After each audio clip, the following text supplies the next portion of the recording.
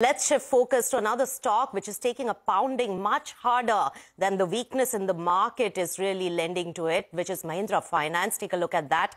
Almost 13% down in trade, and that slumps after the Reserve Bank of India asks it to stop using outsourced recovery agents following the tragic Hazari Hazaribagh incident. In fact, our colleague Abhishek Kothari joins us with all the details of this development. And Abhishek, how does it impact the business if it does?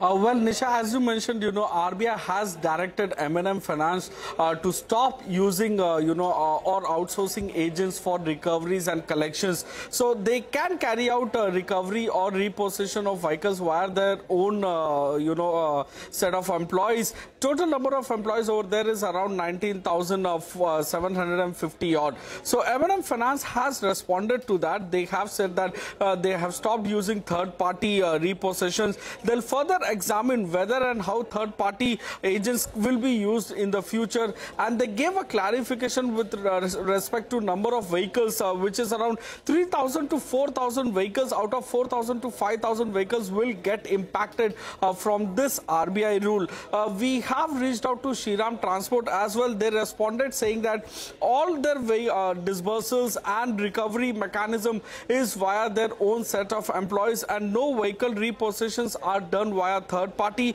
We also reached out to Cholamandalam. They responded saying that they have a total of uh, 13,000 in-house employees uh, for collections and recovery and they have agents as well which is around 1500. However, when the agents go out for recovery, they are accompanied by, uh, you know, the employees of the company as well. Back to you. All right, Abhishek, thanks a lot for getting us all of the details there. M&M Finance down around 14%, pulling the rest of the NBFCs down as well, the likes of Shriram and Chola, like Abhishek mentioned.